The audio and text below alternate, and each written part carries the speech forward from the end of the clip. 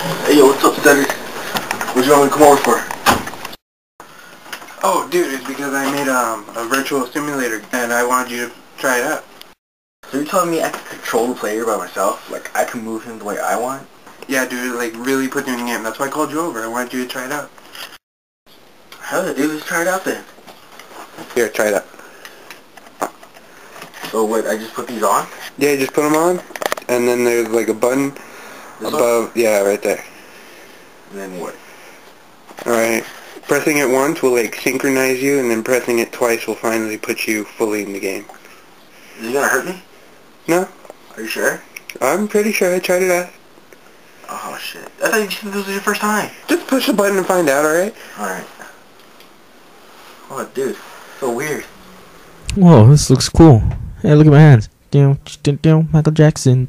Bounce, bounce. Dun, dun, dun, dun, dun, dun. What the hell is that? Holy crap. Oh, what's up, Cedric? Alright, Freddy. Let me teach you how to Oh, play. What?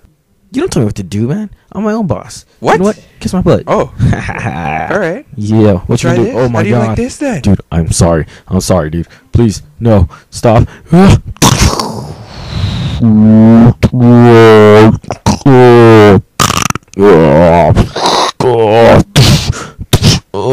See, if, if you would let me teach you, you would know how to do this. What's that? Dude, what the hell is that? I didn't know you could grow and teleport into the game. Why'd you tell me that? You threw me around and shot a laser ball at me. Uh, what are you talking about, dude? Like, alright, well first, you started it because you were all like, doing some Michael Jackson and told you to calm down and just so I could teach you, but you're all like, kiss my ass, that was your fault, not mine. Game. I'm leaving.